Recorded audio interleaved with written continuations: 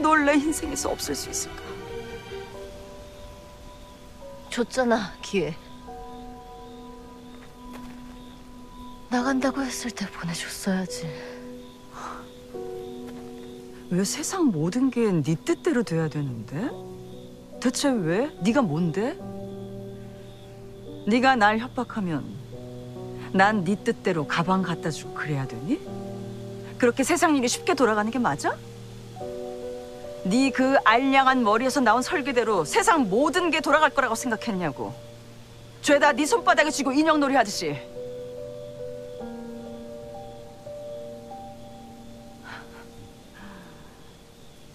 넌 그래서 안 돼.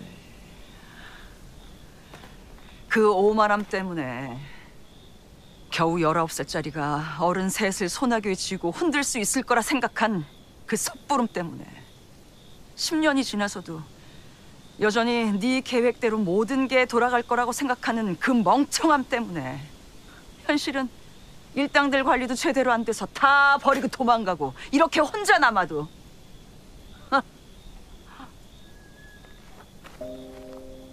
그래도 좋은 변호사 구했더라. 충성스러운 변호사라고 해야 하나?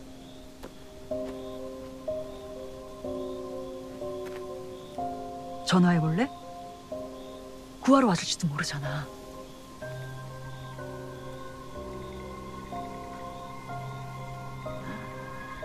자존심.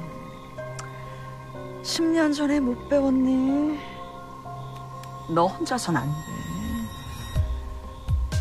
조금만 기다려. 널 찢어 밝힌 뒤에 회장을 씹어먹어 줄 테니까.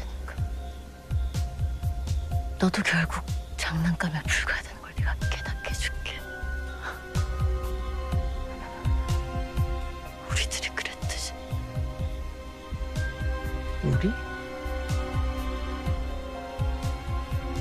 여기 너 외에 누가 있어?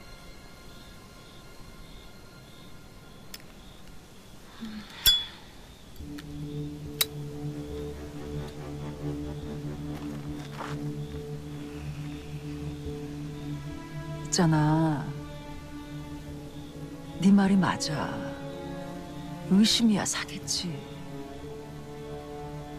그래도 어쩌겠어.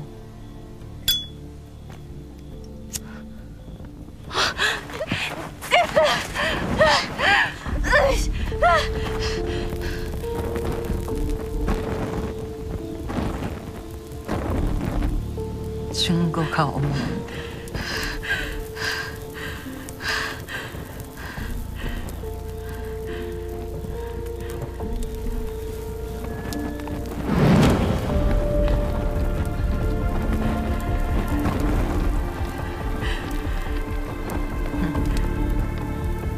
집에 돌아온 걸 환영해.